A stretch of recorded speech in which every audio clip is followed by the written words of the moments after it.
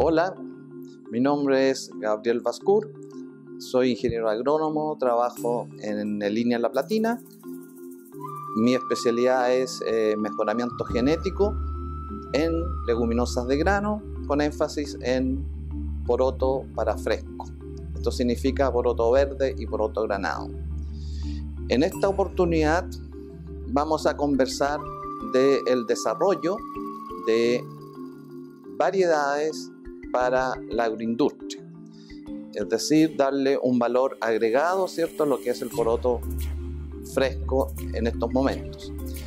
Y para resolver esto, primero que nada, debemos plantearnos los problemas que está teniendo la industria y que están relacionados con calidad de la materia prima, es decir, que no las variedades que están usando actualmente ellos no satisfacen los requerimientos del mercado chileno. Y eso ha significado que el desarrollo, el crecimiento del mercado del poroto congelado se haya estancado. Entonces el gran problema pasa por disponibilidad de variedades.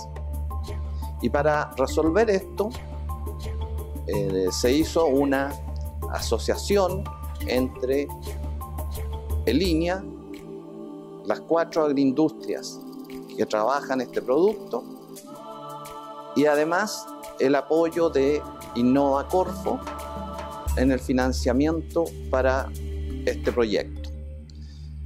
Y donde la idea central es desarrollar variedades que cumplan con las características exigidas por el mercado chileno ya que las variedades introducidas no cumplen con los requisitos de color y sobre todo de dulzor, es decir, valor culinario. Para eh, resolver el problema empezamos a eh, generar eh, cruzamientos artificiales, ¿cierto? Desde un poroto poroto recolectado acá en Chile, que no es del género Phaseolus vulgaris, sino que eh, es otra especie, pero que tiene la resistencia a uno de los principales problemas que es virus. Entonces, a través de metodologías biotecnológicas, herramientas biotecnológicas, logramos traspasar ciertos genes con resistencia a materiales que Línea ya había desarrollado que tienen las características exigidas por la industria. Luego de hacer los cruzamientos, evaluamos los materiales en toda la zona productora de la industria con el apoyo de, eh, ellos, principalmente en lo que es la parte de eh, aptitud para mecanización, para cosecha mecanizada y aptitud para el proceso de eh, congelado propiamente tal. Y esto ha significado entonces que eh, después de seis años de trabajo, eh, estamos en estos momentos en presencia de poder disponer o poder entregar dos nuevas variedades, una de poroto verde y otra de poroto granado.